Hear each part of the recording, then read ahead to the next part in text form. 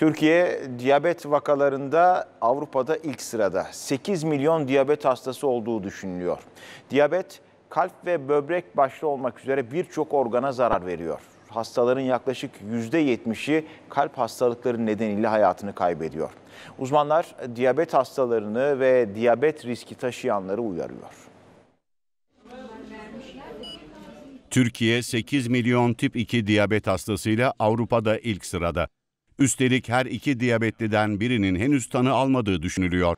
Bilinenin aksine kan şekerini kontrol altına almak diyabeti kontrol altına almak anlamına gelmiyor. Eğer biz bir hastanın diyabetini iyi yönetmek istiyorsak tansiyonunu da iyi yönetmeliyiz. Kilo fazlasını vermesini sağlamalıyız. Kolesterolünün iyi gitmesini sağlamalıyız. Diyabet başta kalp ve böbrek olmak üzere birçok organda hasara neden oluyor.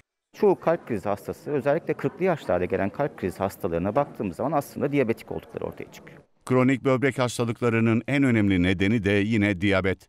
Diyalize giren her 100 hastadan 40'ı diyabetli. Hem şeker hastalığı oldukça sinsi bir hastalık hem böbrek hastalığı sinsi bir hastalık. Onun için şeker hastalığı saptandığı anda mutlaka erken evre böbrek açısından idrarda protein kaçağının bakılması çok önemli. Endokrinoloji, kardiyoloji, nefroloji ve hipertansiyon alanındaki 4 uzmanlık derneği diyabete bütüncül yaklaşım amacıyla bir araya geldi.